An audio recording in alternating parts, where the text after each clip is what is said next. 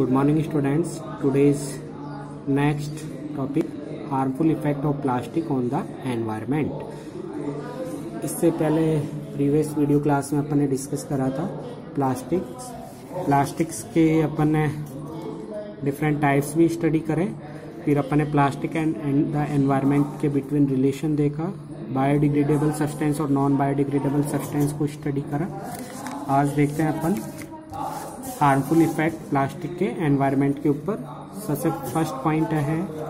Plastic if burn produce very harmful gases which pollute the air plastic को यदि अपन burn करते हैं तो इससे काफ़ी सारी हार्मफुल गैसेज क्या होती है? रिलीज़ होती है। और ये एयर पोल्यूशन का रीजन बनती है एनवायरमेंटल पोल्यूशन का रीजन बनती है। ये एयर को पोल्यूट करती है फ्रेश एयर को रिड्यूस करती है। तो प्लास्टिक क्या है? एक तरह से एनवायरनमेंट के लिए हार्मफुल है एनिमल्स और प्लांट्स के लिए हार्मफुल है। उनको ब्रेथिंग के लिए प्योर ऑक्सीजन अपने को नहीं मिल पाएगी। तो एक तरह से सफोकेशन की कंडीशंस बन जाती है। नेक्स्ट है plastic carry bags block the drainage sewer system drains या ड्रेनेज सिस्टम या सीवर सिस्टम, जो ड्रेनेज सिस्टम होता है, वो गंदे पानी का, जो डर्टी वाटर होता है, नहाने का पानी, धोने का पानी, वो गंदा जो नालियों के थ्रू जाता है, वो ड्रेनेज सिस्टम। सीवर जिसको अपन सीवरेज लाइन होती है, उन सभी को ये प्लास्टिक के जो कैरी बैग्स होते हैं, ये क्या कर देते हैं? ब्लॉक कर देते हैं। इससे क्या होगा? ब्लॉक करने से जो गंदा पानी है, ये रोड पे आएगा ओपन में और उससे काफ़ी सारे मक्खी और मॉस्किटोज ग्रो होंगे, उनके बैक्टीरियाज ग्रो होंगे क्योंकि वो उनका एक तरह से ब्रीडिंग पैलेस बन जाता है। दिस में become a breeding place for mosquitoes next है stray cows and other animals sometimes eat plastic carry bags thereby causing death ज़्यादा अपन प्लास्टिक यूज़ करेंगे तो एक तो पोल्यूशन होता है। और साथ में प्लास्टिक कैरी बैग को में कुछ अपन fruit skin vegetables skin fruit peels और भी कई टाइप के पार्ट्स वेजिटेबल पार्ट्स अपन उस प्लास्टिक कैरी बैग में डालकर फेंक देते हैं गार्बेज को। तो उसको क्या करते हैं? कुछ स्ट्रे काउज होती हैं जो आवारा गाय होती, खुली ओपन में और भी कई टाइप के एनिमल्स उसको डायरेक्ट क्या कर लेते हैं? प्लास्टिक को स्वेलिंग कर लेते हैं, उससे क्या हो जाता है?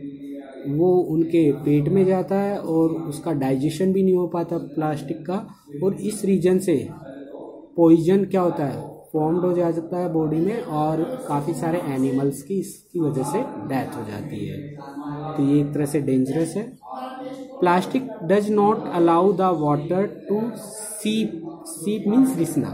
जैसे प्लास्टिक का ज़्यादा यूज़ करेंगे प्लास्टिक को ऐसे ही फेंक देंगे अपन ओपन में। तो रेनी सीज़न में वो क्या होता है प्लास्टिक सॉइल के डाउनवर्ड बरीड हो जाता है और वाटर को क्या नहीं होने देता है सीप नहीं होने देता, रिसने नहीं देता, जिससे कि अंडरग्राउंड वाटर रिचार्ज नहीं हो पाता वाटर लेवल डाउन से डाउन ही चला जाता है। तो और पोल्यूशन भी बनता है पोल्यूशन के लिए रेस्पॉन्सिबल है वाटर पोल्यूशन भी होता है इससे।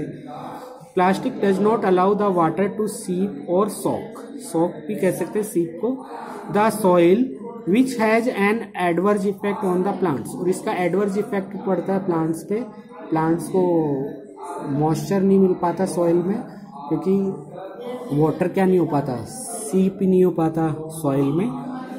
On the plants and recharging of ground water और ग्राउंड वाटर भी रिचार्ज नहीं हो पाता। तो ये कुछ एडवर्स इफ़ेक्ट थे, हार्मफुल इफ़ेक्ट कहते हैं एडवर्स इफ़ेक्ट, प्लास्टिक के एनवायरमेंट के ऊपर। नेक्स्ट है how to reduce garbage and the harmful effect of plastic अब इसको रिड्यूस कैसे कर सकते हैं? प्लास्टिक से जो हार्मफुल इफ़ेक्ट हो रहे हैं, उनको रिड्यूस अपन कैसे कर सकते हैं? देखिए first point use plastic bags to the minimum if possible reuse the plastic bags अपने को हो सकता है जितना अपने को प्लास्टिक के बैग्स को मिनिमम यूज़ करना चाहिए। और साथ में यदि यूज़ भी करें तो उस प्लास्टिक बैग को एक बार यूज़ आने के बाद में उसको दोबारा से आप रीयूज कर सकते हैं। या उसकी जगह आप बेटर जूट जूट का कैरी बैग यूज़ कर सकते हैं। क्लोथ्स का कैरी बैग यूज़ कर सकते हैं। पेपर का कैरी बैग यूज़ कर सकते हैं, जो कि दोबारा से क्या हो सकता है? रिसाइकल भी हो सकता है और दोबारा से रीयूज भी हो सकता है। जिससे कि पोल्यूशन नहीं होगा एनवायरमेंटल पोल्यूशन नहीं होगा। नेक्स्ट है नेवर बर्न प्लास्टिक वेस्ट अपने को जो प्लास्टिक का वेस्ट है गार्बेज है, उसको बर्न नहीं करना चाहिए। Burning plastic produce toxic gases इससे क्या होती है? काफ़ी सारी टॉक्सिक गैस जो पॉइजनस होती है, जो कि पोल्यूशन के लिए एयर पोल्यूशन के लिए रेस्पॉन्सिबल होती है। Carbon dioxide carbon monoxide sulphur dioxide और भी कई टाइप की पॉइजनस गैसेज रिलीज़ होती हैं जो कि एयर पोल्यूशन भी करती है, साथ में एसिड रैन के लिए भी रेस्पॉन्सिबल होती है।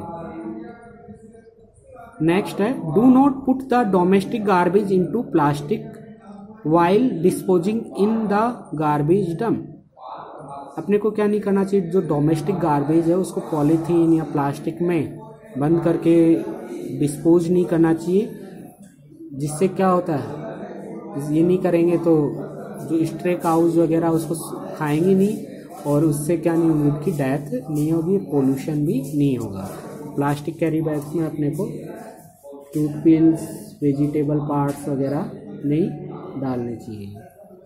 नेक्स्ट है do not store eatable in plastic bags अपने को प्लास्टिक का मिनिमम से मिनिमम यूज़ करना चाहिए। उसमें जो फ़ूड मटेरियल्स वगैरह है, उनको स्टोर नहीं करना चाहिए।